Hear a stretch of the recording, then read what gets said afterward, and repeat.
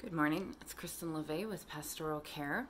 I'm coming to you this morning from my kitchen because I have a really cool thing I want to share.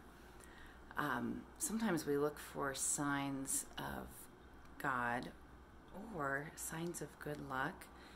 And this morning I was getting ready to make some eggs and I found this.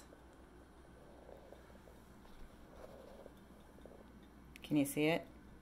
It's a double yolk. Look, one more time.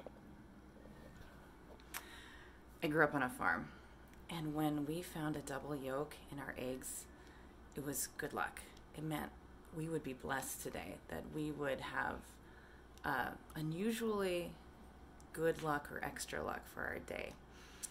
Um, it might seem a little silly. In fact, my 16 year old thinks it's a little ridiculous. But in days like uh, today and this season we're in, we'll take all the extra luck we can get, right?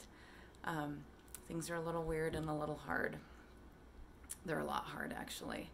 So, this double yolk is just setting me on a, a course for goodness today uh, to look for signs of hope, signs of, um, well, goodness in other people.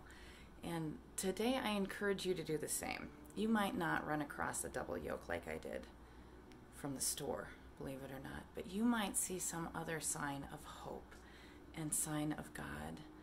Uh, today, I'm just lifting up this very strange um, but kind of special double yolk as a sign that God is still present, God is with us. There are signs of hope and love all around. Uh, have a blessed Tuesday, everyone.